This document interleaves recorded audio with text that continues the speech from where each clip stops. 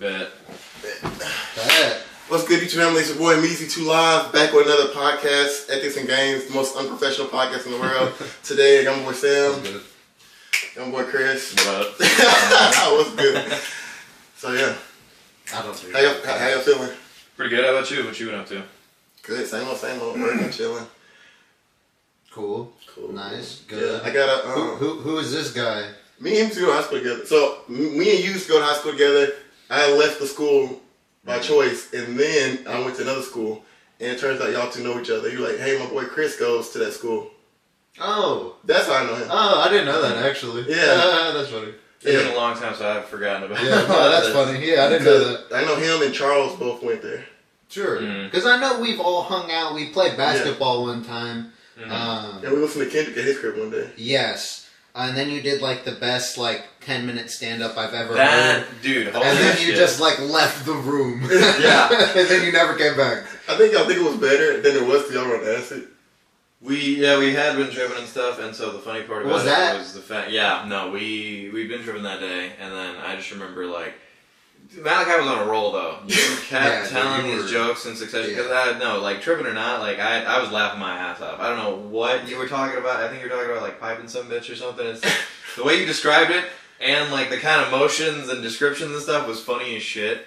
And then, like, immediately after you got done talking about it for like 10 minutes straight and stuff, you were just kind of like, alright, yeah, I'll catch y'all later. And then just dipped. Yeah. Yeah, because I know, And we were just kind of like, dude, what the fuck? cause I know Sam was spending the night. I'm like, well, I'm not spending the night. I gotta go. Yeah, Yeah. just like dip. Mm-hmm. Yeah, I thought he was like half joking, and then he just never came back. He just never came back. I'm like, Like, okay. Come back ten minutes later. I'm still here. No, it just be like, all right, dude, not for real It literally felt like, alright, that's my time, y'all. And then, Yeah. Yeah, I felt like I paid, and he just left, Yeah. and I'm like, whoa, encore. You know? Which that's what cracked me up about it. I was just like, damn, that's funny as hell. Yeah, but like honestly, from high school, all I really talk to is you, John, and there's one dude named Tuki. I still talk to him on occasion. Oh, for real. Yeah, but besides that, y'all only people I really talk to from high school. Yeah. And then when I first started YouTube, Sam Mhm. contacted me for like questions and stuff like that. So he helped me out with the camera and reaction videos and stuff like that. And then I know you stream, so Mhm. I was thinking about streaming eventually. I don't have the time frame though right now.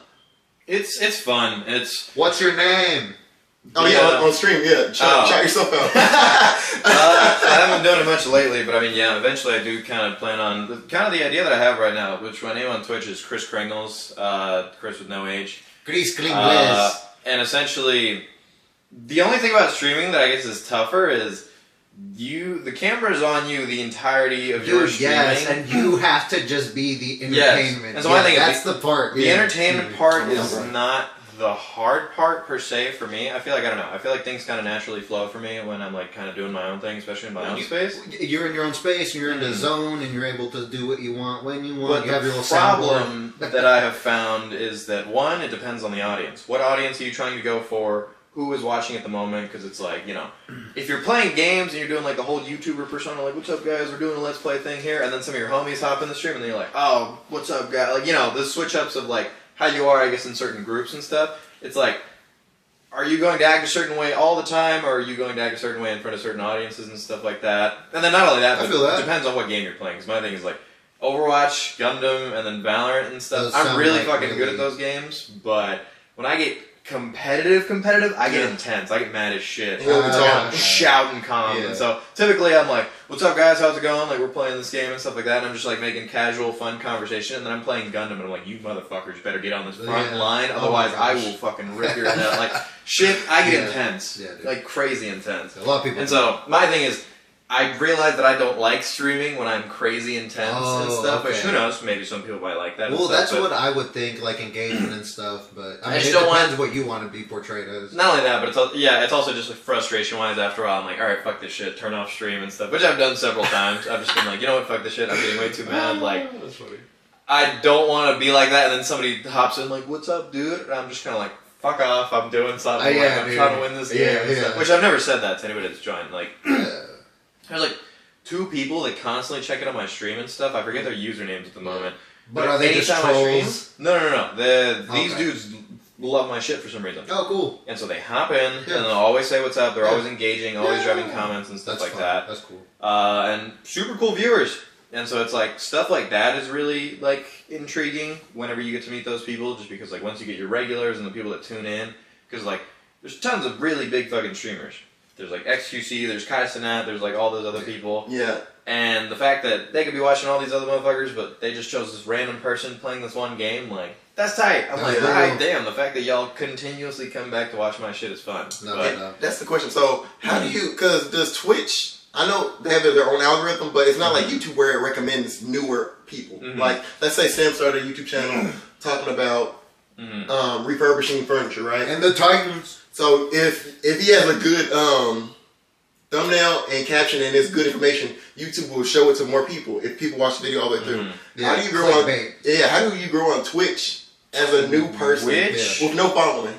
I would say it comes a little bit down to self marketing and what you're playing, because Yeah. if you're playing Valorant or Call of Duty, there's like thousands of people streaming that. There's Yeah, or 10,000 Minecraft. people playing. Yeah, so it's like your stream is going to be shown somewhere in a list of these thousands. So it's like if you're one of the bigger draws, then you're gonna be on the front page. Yeah, But like if you're not, then you're gonna be someone random and stuff. So like honestly, I don't even know how the fuck people find certain streams of mine. Like I, I was like, I wait, think good game selection. if it's if- more depending on what games, you're doing. Yeah. Like if somebody's looking for a particular game, then yeah. Because one time I was playing this game called Eldritch, Yeah. uh, which is kind of like a dungeon crawler, like exploration type game. And you know, I've never really heard anybody play it. When I found the game, I was like, "Whoa!" I was like, "This game looks sad." I've never heard anybody talk about it. Cool. So I was playing it. Some random dude from Russia started watching my thing, Nice. and he like subscribed to my channel, and I was just kind of like, "How did you find my stream?" Yeah. And he was just kind of like, "You're the only one playing it." That's all right. And I was like, okay, dope, cool. I was like, okay, so that's an interesting way of how to do that. But like, yeah, self marketing too. Just like on social media, like if you're engaging with people and stuff, which I made my own separate Twitter for my stream, but I also found it annoying because like it was me following other streamers Yeah. and then them following me and then doing like shout outs for back and forth like shout out which Weird. I thought it was really weird. I didn't like that approach to it. I felt it's much more natural if you just do your thing. You're just tweeting naturally and stuff, and then it's like, hey, I also have a, a, a Twitch type deal. So it's like, oh, this dude's funny on the internet, and he has content where I can go watch Yes. him be funny like live and stuff. Yeah. So things like that, I would say. But I feel like the social Yeah. game is a really big part of it. Like, just get that one good reel and just get other people to share it. And, TikTok helps a lot. yeah. TikTok is like, Yeah. I think I've had, I don't know, maybe one or two clips that have gone like slightly viral. Nothing huge and stuff, just because like, I don't know. Depends on what you're doing or like how funny the clip is and things like that. But TikTok has the opportunity to kind of make your shit blow up a lot. Yeah. which that's why that's a really good tool to use. I always go like check my clips from stream or I record something from my stream and then I save that, go back, edit it, put it on TikTok, try and do the stuff on there to try to, you know, promote it, see what happens with that.